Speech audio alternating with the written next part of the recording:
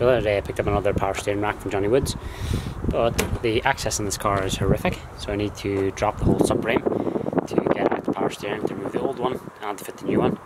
So let's get cracking.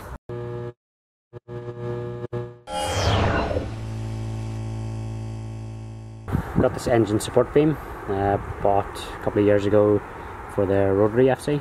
Got the engine mount solutioned, uh, got the engine jacked up an inch.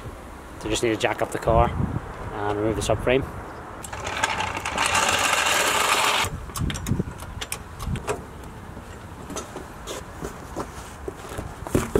The car actually came with some reasonable aftermarket parts. Got aftermarket tie rod ends, powered by Max steering knuckles. Got sick Laku. Pretty sure there was just eBay coil overs. Got to remove all this stuff so I can drop the subframe first.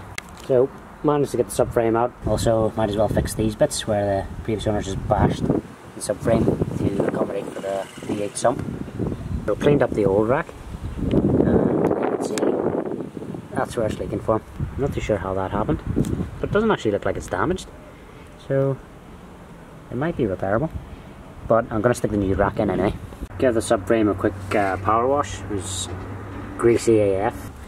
Uh, so this is the subframe has been bashed to fit the V8. So I'm going to grind that off and smooth it off, make it look a wee bit better. Going to get some black paint just to paint all over that. Give underneath the car a bit of a quick scrub down as it was smeared in grease and just engine gunk from over the years. Uh, my brush is now black, it's absolutely stinking. Painted the subframe and I've cut off the lip that the previous owner bashed. So looks a bit nicer now. That's the subframe steering rack put back in. Engine support beam. Got this off eBay, 50 quid delivered.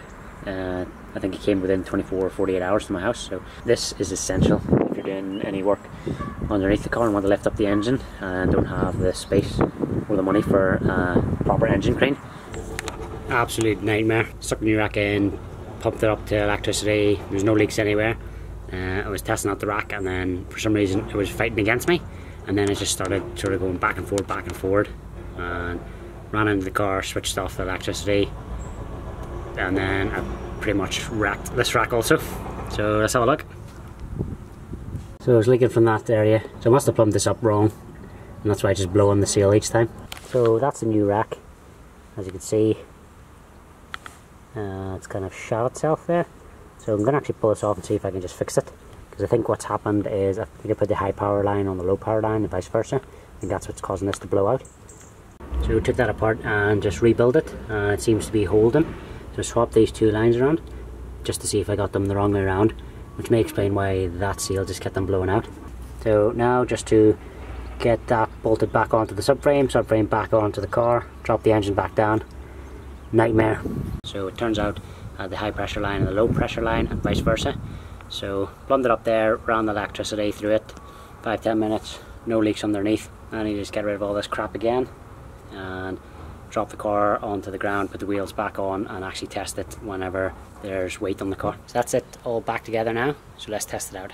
Power steering is off. Uh, as you can see, it's not going to move, so any improvement to that is going to be a huge improvement. You can hear that, that's the whine. It's quite loud, but hopefully with the V8 you'll not hear it, so let's see. Oh, look at that.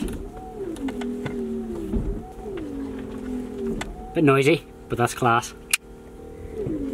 Success! There you have it folks, power steering in the FC.